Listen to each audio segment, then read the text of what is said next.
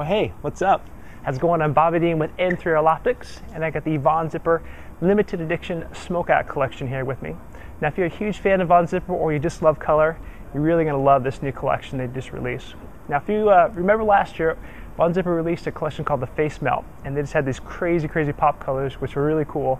Um, but what's uh, what's neat about this is they followed up with a collection that's a little bit more wearable. So what they did, you get still tons of color in both the frame and the lens, but they did a nice black accent piece around the uh, up part of the frame here. So it's again, it's a little bit more wearable for that. It's available in two different styles. You have the Elmore here, and you have the Snark. Both are really top-selling styles for Von Zipper. Color-wise, you got the Boggle Gum Blue here, Banana Bake Yellow, the Purple Urkel.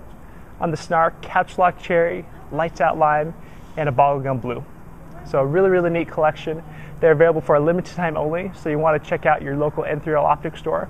They will do another follow-up collection in April, but uh, this is the first release, so you definitely want to check them out as soon as you can.